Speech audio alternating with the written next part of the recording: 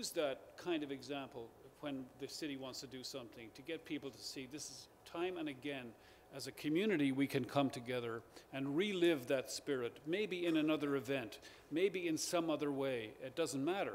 But the, the games are the anchor for that idea that the spirit can live on. You know the one wonderful thing is that you know the olympic games are complicated. They're not easy to put on. There's a great debate that rages for years but you cannot find anyone today in the city that thinks it's a bad idea. Because to say it's a bad idea is to criticize yourself, because everyone owned the Olympics of Vancouver.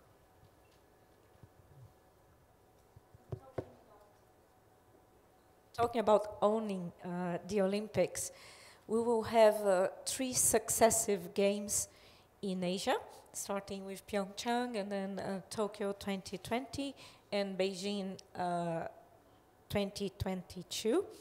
And uh, I would just like to hear from uh, Mr. Sermiang Nge.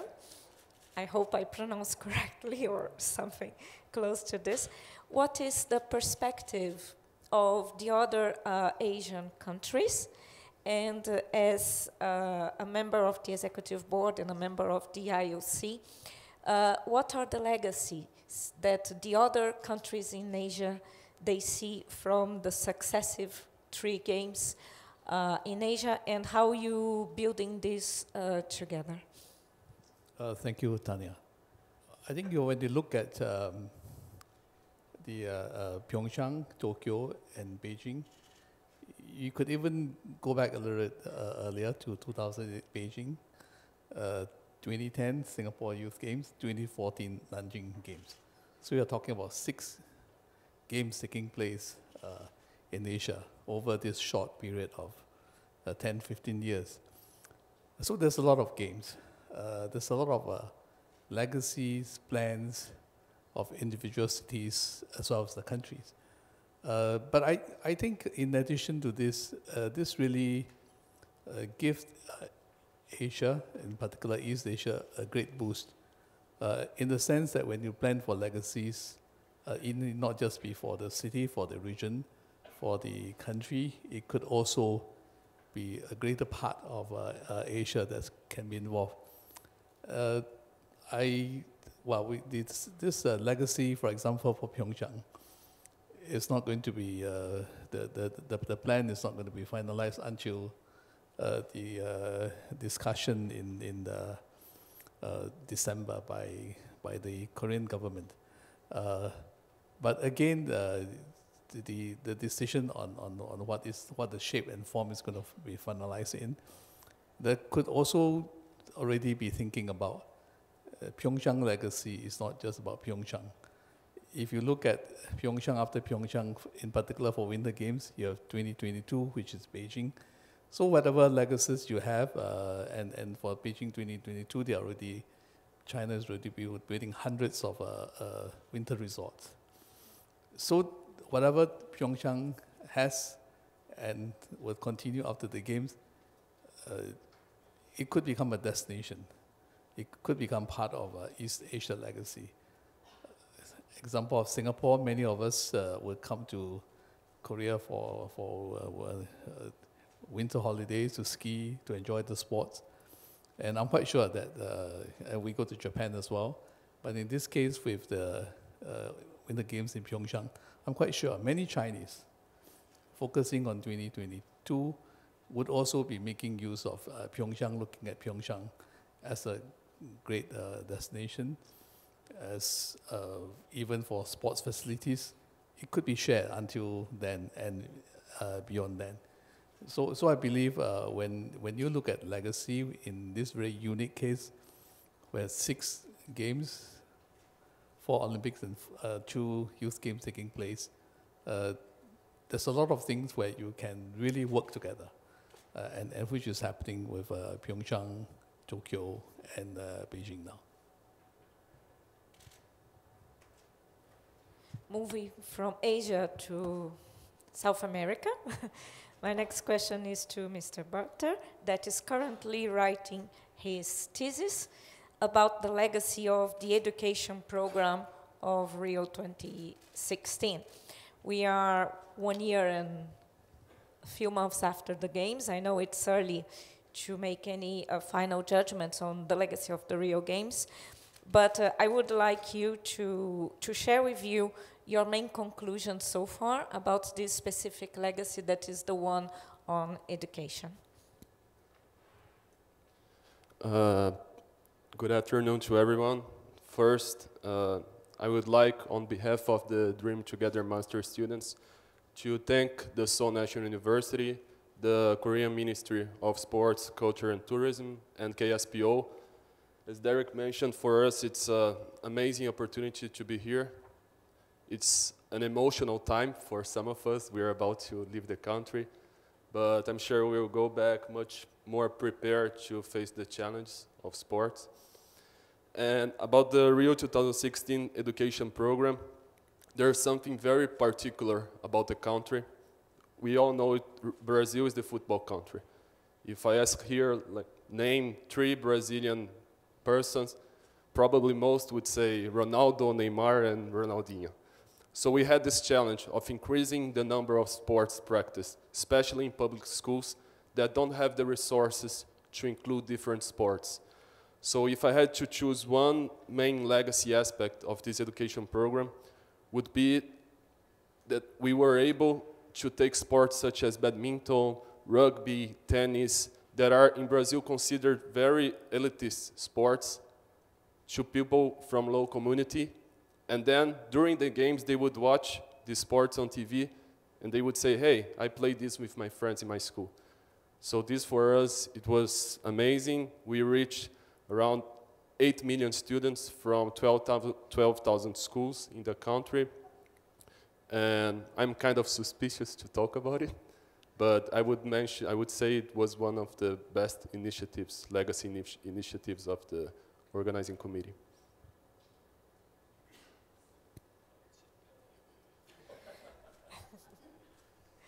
Uh, moving from education to technology, we hear a lot uh, something that uh, it's in common on the presentations of uh, Pyeongchang and Tokyo is the role that technology plays in the legacy plans of the two games. Uh, so I would, this question is to both uh, Mr. Kim and Mrs. Na Nawamura. uh, Kawamura, sorry. Uh, it's about the technology and innovation. If you could you please explain the opportunities that the Olympic Games bring in this area? Because we know that both countries, South Korea and Tokyo, are very advanced in relation to technology. What it changes with the Olympic Games? Uh, what are the new opportunities that are opening for you in this area that's very important for both the economy and the society of your countries? Thank you, Tania. And uh, yeah, as you know, the, Japan is the famous for the cutting edge technology, but we would like to more and more, you know, their technology innovations come, you know, the people's dreams come true. The Olympic is the best opportunity to introduce their, you know, their unknown technology and innovations for the first time.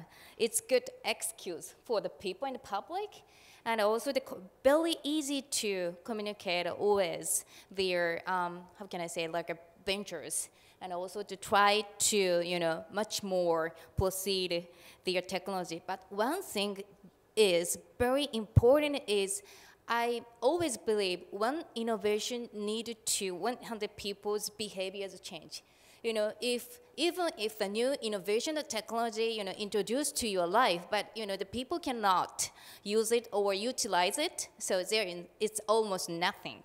So I believe the people need to, you know, their uh, combine their usage and the convenience of the new technology and innovations so to think about the building the better society with innovation and technology taking opportunity for the Olympic Games.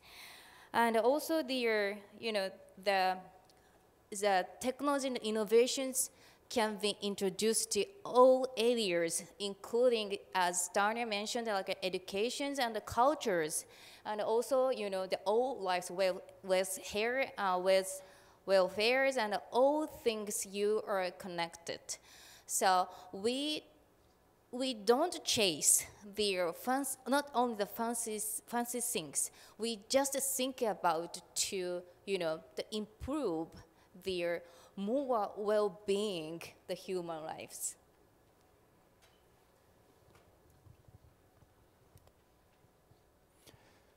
네, 제가 그 나가노 올림픽에 천그 98년 2월달에 그 갔었는데 이제 성화봉송을 저희가 진행을 했었습니다. 그때 이제 이승엽 선수가 막 MVP가 돼갖고 저희가 이제 같이 가서 뭐 그 성화봉송도 하고 그랬던데 그때 제가 깜짝 놀란 게 그 일본의 이제 도요다 자동차가 스폰서였는데 내비게이션이라는 게 생겼습니다. 그 아주 시골에서 저희가 대부분 그 교회에서 성화봉송을 했는데 지도 하나 갖고 이제 그때 그 내비게이션을 활용을 해서 찾아다니는 게 굉장히 그, 그 당시에는 처음 저도 그걸 본 거여 갖고 신기했죠.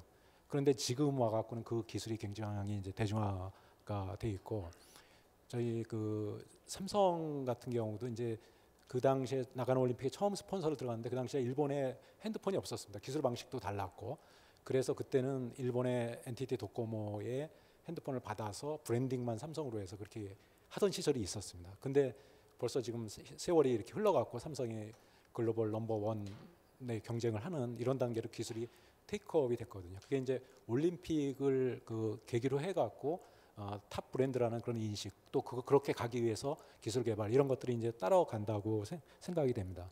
그래서 이번에 이제 평창 올림픽에서도 이제 그 제일 저희 그 우리 대한민국 입장에서 또 KT라는 기업 입장에서도 어, 그 ICT 올림픽에 주, 맞게 5G 기술을 적극 적용을 해갖고 어, 그 통신망을 그 이번에 이제 올림픽에서 그 적용을 하고 또 UHD 그, 그 중계를 그 또 실시를 하고 또 공항에서 이제 로보트가 길 그 올림픽을 안내하는 그런 것들 그다음에 여덟 개 언어 서비스 그 앱을 개발을 합니다. 그래서 그 앱을 통해서 이제 그 통역 서비스를 받을 수 있게 한다든지 아까 얘기했던 그 지금 평창에 이제 경기장은 완성이 됐지만 각 방송사에서 엄청난 중계 시설들을 지금 설치를 하고 있습니다. 거기에 적용되는 기술들 뭐 이렇게 아까 얘기했던 홀로그램 VR 이렇게 해서 각종 문화 공연 또 대회 운영 이런데 엄청난 기술들이 적용되고 있고 기업들이 그거를 이 올림픽을 통해서 업그레이드를 하기 위해서 노력을 하고 있습니다. 특히나 이번에 아시겠지만 탑 스폰서로 알리바바나 인텔 같은 아주 초 그 테크놀로지 기업들이 참여를 하고 있는 것은 그만큼 올림픽에 참여하는 기술적인 측면에서 뭐 비즈니스적인 측면에서라든지 활용성이 올림픽의 가치가 크다는 것을 어, 보여주는 게 아닐까 그래서 이번 저희가 5대 목표 아까 말씀드린 5대 목표 중에 ICT 올림픽을 구현하는 그런 그 평창 올림픽이 되지 않을까 그렇게 생각을 합니다.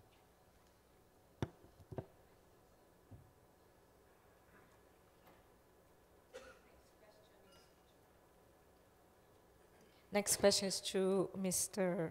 Fletcher that mentioned that uh, we cannot uh, see legacy in six weeks or six months, but we need uh, more time to construct it. So um, I would like to know what are the main challenges in the first years after the Games. We can see that uh, the legacy of the London Games are really uh, taking full shape now and we can understand it much better today than we could see it, for example, one year after the games. Uh, you have a great success, but there were also challenges in this uh, in this path. And how did you find solutions to these challenges? And what you think could be useful, for example, for Pyeongchang that is approaching uh, the games and will have to face those challenges in the near future? Thank you. Um, there's one or two questions there. um, so I think in terms of, of, the, of the timetable, um, in London, uh, as in uh, everywhere now, uh, we move at a high pace. The world is, is fast paced and everything uh, is expected to be delivered quickly. So, as I said in the presentation, people expected the legacy to be delivered uh, immediately. They expected the park to be open immediately. Um, and I think part of what you have to do to maintain a degree of optimism and enthusiasm is to be able to, A, show that you're moving as quickly as possible, because just because something takes a long time doesn't mean that you should spend as long as possible doing it. You should do it as quickly as possible. So we showed a combination of what we would call quick wins in London, um, and we got the bits of the park that we could get open, open as early as possible. We got the bits of the venues that we could change, changed as quickly as possible. So as I said in the presentation, we had some, some momentum. I think about what happens when you move from short term to long term was that our first sort of big short term change was that two years in, all of the sporting venues were open and being used by the public. And to some extent, a lot of people, and in particular the media, thought that that was legacy. So it was done, the job was finished. And what we have to do to maintain enthusiasm and to maintain, maintain a connection is to find new ways of telling the story. So if you just try and issue a press release every week that says, legacy is great, here's something new, people get bored. So we find big opportunities when something really significant happens to announce that. It's an announcement in its own right. Um, and we use that to remind people that this is what came out of 2012. This came out of the money that you paid in your taxes. This came out, as John said, from the commitment that you made to make London a success. And we tie in what we're doing on the park with something really big. So this summer, when we had the IAAF World Athletics and, and the IPC World Paralympics Championships, we had the world's media back on the park. And what we got was lots of documentaries and news footage, not about the event themselves, but people who wanted to see how the park had changed from when they were there five years ago and all the things we'd already achieved. And that maintained a huge amount of enthusiasm at home and in the international media because people could see the before and after. And it, uh, uh that credibility allows you to keep doing more. We have had uh, challenges. Everybody has challenges. And I think there's two things that you have to do to deal with those challenges. Firstly, you have to be proud of what you've done and you have to be committed to what you're going to do. And you can't allow those challenges to get in the way. There, in any project, and we all know from delivering a games, there are really, really difficult obstacles, and sometimes it's just, just really hard work to get through them, but you do get through them. And I think for us, kind of some of those legacy uh, issues have been about the, the speed at which we're building the houses um, or some of the problems that we've had when we changed, uh, when the politicians changed their mind about the plan for the stadium and we were going to have a, a, stadium that was deconstructed and then we decided to keep it. And, and that causes issues. And I think you have to keep going back and sticking to the plan. But in order to maintain that confidence, it goes back to that point about telling the public what you're doing and why you're doing it. And if you're confident in the plan, you always, you always get through it in the end. I think the really, really tough issue will come to us over the next few years because we've had a five-year story that started with 2012 and finished with the 2017 World Athletics that was about sport and sporting venues. We now have to tell a very different story, which is about how we're building on that to deliver new jobs and, and new houses. And that looks more tenuous, that's harder to connect to a sporting event. So what we have to do is to work really, really hard. We will know in 10 years if we've been successful or not. But the really cr critical issue for me is always being able to tell that story that's fresh and new, not just telling the same 2012 story over and over again, but when you tell that story about this amazing new company that's come to the area, or, or the fact that, for example, Ford Motor Cars have brought their innovation hub back to East London, which ties in with the incredible industrial heritage of an area that invented uh, petrol and invented plastic. There's a new way of telling that story that people buy into. And when you do it, that's when you remind them that if it wasn't for 2012, that, that, that wouldn't have happened.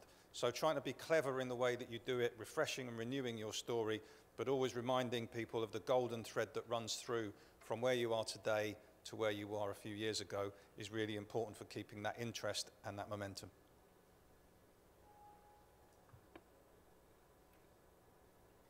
And now I, I've the same question for everyone. So if we do a round the table, starting with Mr. Rowe on uh, clockwise uh, sense, if you had one single learning that was really important for you from your experience or your studies that you could share with Pyeongchang right now about the legacy, what would you share with them? The one learning to uh, I'd like to share with Pyeongchang is to make uh, the public, including the Olympic City citizens and uh, the Korean nation as a whole, feel proud of their games. How? The people should feel that uh, the, through the games, the games uh, they contribute greatly to development of the region and the country as a whole. And, and also, uh, the, through the games, the people could have the great joy and hap- feel happiness. Uh, by that point, uh, the important thing is to the Korean Olympians in Pyeongchang Olympic Games uh, should have a great result, for example.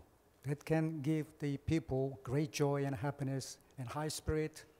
That can keep the Olympic legacies after the games keep alive for a long time. I think I would go back to something that I said uh, in the presentation, but if there was one lesson that I would draw is not about what the legacy is, because every games has to have a legacy that's right for it. You can't pick up someone else's legacy program and say, do that, because it's meaningless in another country, another city, another context. Um, you must do the legacy, that, the program that's right for you and what your country needs, what your city needs, and what is relevant to the location. The thing that I think is universal is making sure that you have built in not just the planning for legacy, but the delivery of legacy, and that there is someone who works alongside the organising committee, maybe inside the organising committee, but that's their job to do legacy. It's not their job to do games delivery. It's not their job to, to do preparation. It's not their job to manage the world's media before the games.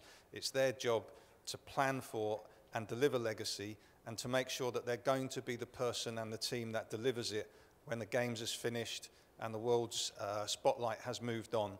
And I think if you have that ownership and you have that responsibility and you know that you've got to look the politicians in the eye and even more importantly the public in the eye afterwards and you've got that responsibility you will take ownership of it and you will make it happen. And i think that's something we did in london. It's something we learnt from other cities.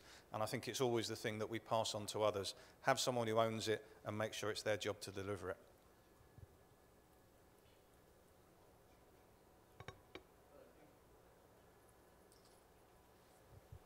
I think the most important uh, thing for Pyeongchang now is to make sure that they organize uh, very successful games uh, for the start, and that the, the people in South Korea are really enthusiastic about it. They are proud of the organization. They are proud of the athletes' performance. Then the, the rest of the legacy uh, would sort of follow. Uh, and the second point is just that Pyeongchang uh, would look at themselves as not serving just Korea, but the, the region, then some of the issue with uh, the overcapacity uh, would, would sort of become a, a smaller problem by itself. So I think it's Olympic game is the all about sports. So, you know, the uh, Pyeongchang game, you know, they should uh, have better to communicate with uh, public to the sports as, you know, the people, uh, the speakers mentioned about the every single, you know, the people has their own story related with Pyeongchang uh, Olympic Winter Games, right? So I think it's their very great opportunity for their uh, the South Korean and also their Asian people and all over the world can have opportunity to have stories related with their uh, the winter sports. Uh, thank you. Uh, I think, you know, a word that um, I remember uh, using a lot in the early days of when we were bidding for the games was the word humanity. And I, when I was studying and preparing and, and trying to succeed at being awarded the games, I remember, you know, talking about how the Olympic Games was a, an opportunity for a country to make a contribution to humanity. And um, and I think sometimes in the in the midst of all of the um, great challenges that happen, we forget, and that when all of the you know we, we build and we have legacies and all kinds of things happen, but in the middle of all of this, we are supposed to leave a mark on the soul of the world. And at the opening day of the Olympic Games in Vancouver, um, I learned something that I think I had taken for granted, and it was this. And a young, a young boy was killed in an accident, and it was a, the most, eh, for me personally, it was the worst day of my life. And it really shook the games at its soul, and I think many people thought the games might fail. But what happened when that happened was the, the, the human side of the Canadian public became exposed, and Canadians rallied around the organizing committee and supported us and urged us on and urged us to use the moment, this terrible moment of adversity and grief, to demonstrate what the Canadian spirit was all about. And I think one, the, the lesson for me out of all of this is to let your own community become your friend, to become your partner, to invoke the spirit of your own country to help deliver the games, so that at the end people feel that that they, when this is all gone, that they have a connection, a something that you that you all did together. That it wasn't some organizers in Pyeongchang who did this, but all of the country came together and did a great thing for Korea and a great thing for the world at the same time. And to me, in the face of adversity, that was the best lesson for me about how powerful your own public can be and the contribution they can make to what the world takes uh, from your Olympics.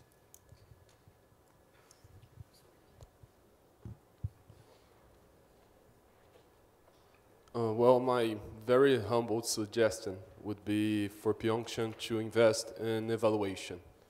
I think that, as Professor Kang mentioned in his speech, many legacy projects are under-evaluated. And in that way, we lose opportunities to tell good stories, to justify the money we're spending on this, to help future organizing committees. And most of, of, most of the evaluations are descriptive. Numbers of participants, number of events, number of buildings. And this is not the only way, it, this is the superficial way to measure the real impact of these legacy programs. So I would suggest invest a little bit on evaluation because this, I think, will help to tell Korean people that these Olympic Games were, were, were worth the investment. Well, thank you. Um, as a student of sports and um, somebody who loves Olympism, um, I think the Pyeongchang 2018 should, should be good, but has to go beyond just a sensational fortnight feeling. Um, it has to kind of like focus on, it has to focus on kind of like drawing a benchmark for other countries to follow. And then, secondly, as much as possible, it has to ensure that every step that is being taken to ensure that the legacy is fulfilled is, is followed. Because, um, as you know, we have various um, ulterior, uh, how do we call it, um, extraneous variables that come in in terms of management. So, as much as possible, they have to stay focused, um, try not to be divided by politics or any other thing, and just stay focused to the, um, the legacy that they've outlined because I believe every carefully planned legacy is good, but the problem is implementation. So once the implementation processes are followed, then we can experience a very um, sustained legacy for generations to come.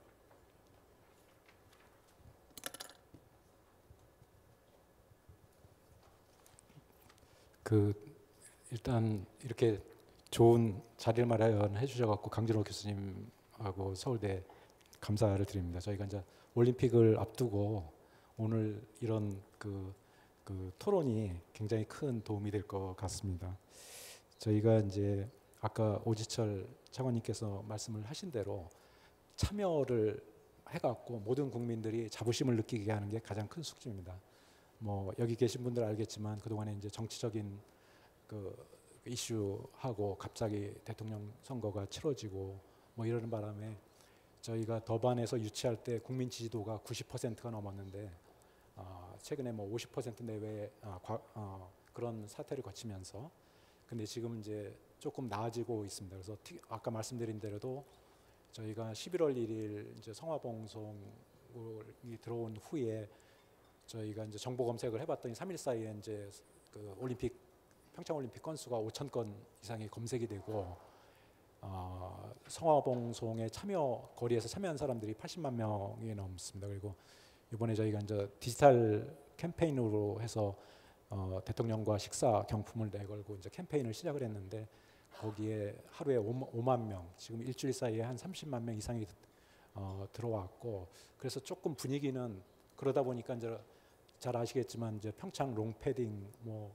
그런 거 해서 저희 웹사이트 가입자 숫자가 하루에 시, 요 최근에는 만 명씩 막 늘어나고 있습니다. 그래서 분위기는 전체적으로 괜찮아지고 있다고 이제 생각을 하는데 그럼에도 불구하고 처음에 올림픽 유치할 때에 비하면 아직 숫자가 어, 못 미칩니다. 그래서 어, 그런 면에서 저희가 이제 국민들이 참여해 갖고 어, 그걸 통해 갖고 이제 자부심을 느낄 수 있게 아까 차관님이 어, 메달 얘기도 하셨는데 대한체육회에서 이제 금메달 8개, 어, 은메달 4개, 동메달 8개 목표를 가지고 있습니다. 그래서 그런 것도 좀 성, 같이 이루어져서 어, 그 평창 올림픽이 올림픽 자체가 열기가 있고 사람들이 참여를 해야 그걸 통해서 이제 자부심도 느끼고 거기에 따른 여기 물적인 거, 시설적인 것이 어, 사후에 활용되는데도 더 가치 있게 국민들의 지지를 받아서 그 이루어지지 않을까 그렇게 생각을 합니다.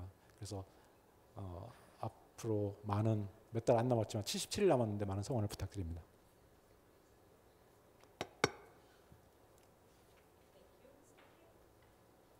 Thank you, Mr. Kim. Uh, I would like to open um, the floor uh, for questions uh, for the public if someone would like to, to ask something.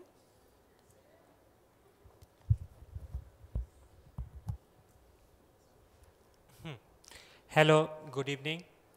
I am Omer Asif from DTM program and I'm from Pakistan. My question is from Mr. Miang, IOC Executive Board member. Uh, what do you think from the past to future, the indicators and methodology IOC used to measure the legacy of Olympic, was it effective enough? And uh, do you have some strategy to improve these indicators and methodology in the future? Thank you.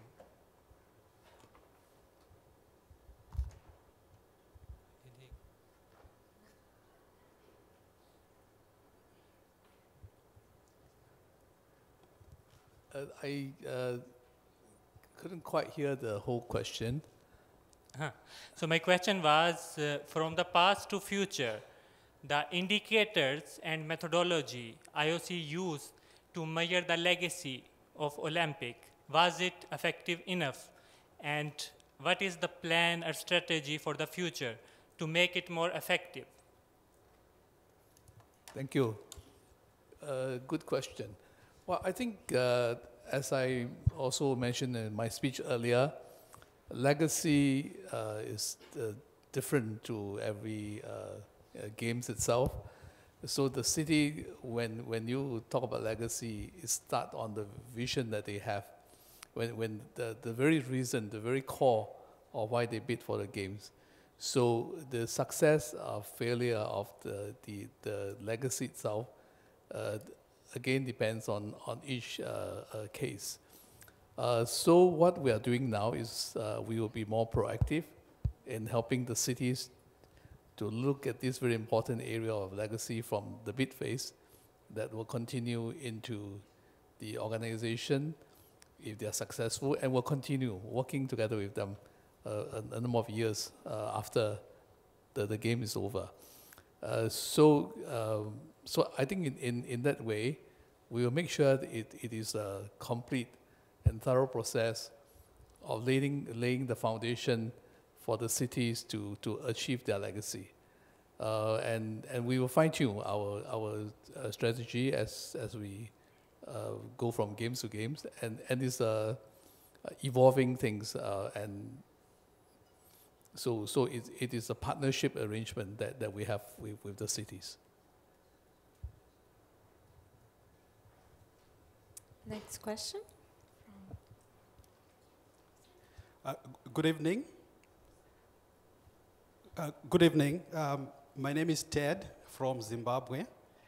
My question is directed to the Vice President of the Pyeongchang Organizing Committee. Um, are there any challenges that are being faced in managing the Seoul uh, Olympic uh, legacies? If there are, what strategies have been put in place to ensure that these challenges are not going to be faced again in managing the Pyeongchang Olympic legacies? Thank you.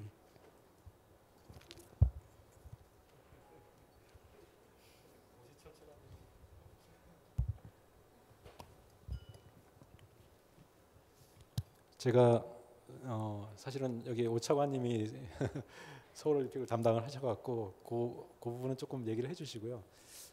평창 부분은 아까 말씀드린 대로 이제 아직 그 전체 그 운, 시설 운영 주체 저희는 이제 조직위는 아시다시피 아, 이 올림픽이 끝나면 이제 한 2년 안에 이제 그 해, 조직 자체는 해산이 되고요. 그 관리를 강원도나 이제 이 정부에서 어떤 조직을 꾸려 갖고 운영을 하게 될지를 결정을 해야 되는데 그 부분이 아직은 결정이 안 돼서 제가 그 답을 아직 하실 수는 드릴 수는 없을 것 같고 서울 부분에 대해서 조금 I, uh, most of the, the sports facilities which were used for the Olympic Games are still are used uh, the, uh, very efficiently uh, still by not only by the elite sports people uh, but uh, the ordinary people for sports for all movement. Uh, the, the special thing is uh, I should remark on at this point uh, we have established a special organization which is called uh, Seoul Olympic Sports Promotion Foundation. Uh, that uh, special the organization they included the people who worked for this Olympic Organizing Committee, and also uh, the special the corporation uh, is running the special sports fund, as I mentioned in the- my presentation. It's very useful sports body, along with the Korean Sports and Olympic Committee.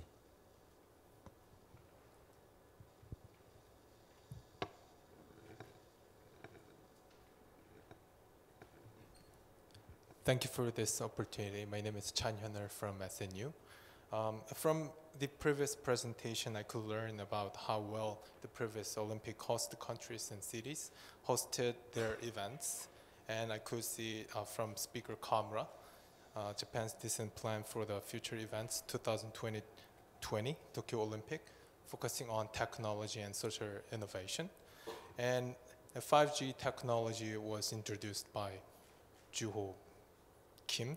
And as a result, I learned um, there is a difference of, a uh, of the trend of planning a mega uh, event um, from development of an area to technology. So my question is, what other factors and differences uh, can be mentioned in the future? Thank you.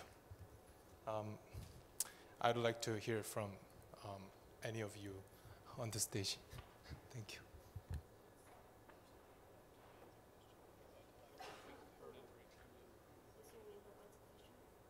We didn't uh, hear very clearly your question. If you could repeat, please. So um, I saw uh, there is a difference of, um, of, of, of the trend of planning on mega events from development of an area to technology. We're focusing on technology these days. So what other differences or factors can be introduced in the future?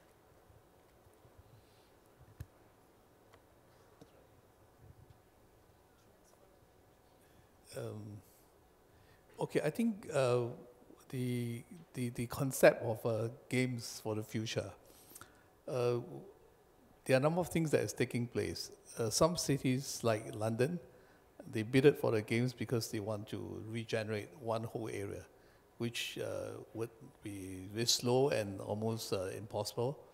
under the, normal political circumstances for funding and, and, and for a, city planning to be arranged. So, so that was the, the driving force. And um, the, the, the philosophy nowadays is that if you, if you can, you, you make full use of existing facilities. And, and so, in some cases, uh, the cities would not need to build as many. But for some which are new cities, maybe, uh, developing cities, probably they will have to, to, to build more. So, infrastructure development would still be important for this type of city that will be building in the future. Uh, for mature cities like Tokyo that has hosted games before, uh, they are sync and, and they are technologically uh, probably the top in the world. So, so their concentration is not so much of uh, uh, thinking of uh, infrastructure development as a legacy, uh, because they, they, they have existing one which needs to be renovated, and in some cases, some will be uh, adjusted to, to, to meet the game's requirement. So their concentration concentration is on technology.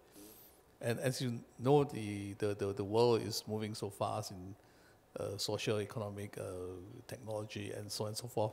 So we don't know what new, new sort of thing will come out. Maybe uh, now we are talking about sharing economy. So maybe the, the next cities could be coming out with a legacy on sharing uh, economy. So, so I think it's, it's an it's a int- interesting question, but we're also living in interesting time. And the games after that will be 2032. So 2032 for summer games. I don't know what's going to happen. I think technology people probably can, can, can, can say more about it. Uh, and the next game, uh, winter game, will be 2026. Uh, so uh, that I think would be a little bit more uh, tradition as as we have now. Uh, so so uh, thi- this is my take, uh, looking from the IOC point of view. Thank you for your questions. Uh, I'll, we'll get an, one more question from the public, and then because of the time, just give the opportunity for each participant to give the final uh, thoughts. Hello, uh, my question is how can we convince the society that legacy of Olympic Games is equal with the financial cost? For instance, Brazil spent a huge money to host the Olympic Games while there are many poor, poor people there. So how we can convince the society that legacy is equal with the cost of uh, Olympic Games? Thank you. I'm not going to answer the whole question just about Brazil. In the case of Rio, my opinion is you can't. The costs involved in organizing the Olympic Games were not similar to what we got from it. So all the, the speeches we heard were positive because I do think the, these other Olympic Games left more legacy than Rio did. So I have a more negative opinion on the other legacies of Rio. So, in my opinion, in the case of Rio, this proportion is not uh, balanced. I'll just uh, give a different view here. It's important to remember that a big part of the funding of the games in Rio were private, uh, not just uh, for the operations and the the sport venues, but big part of the infrastructure that stayed for the city received some private money that would not come for the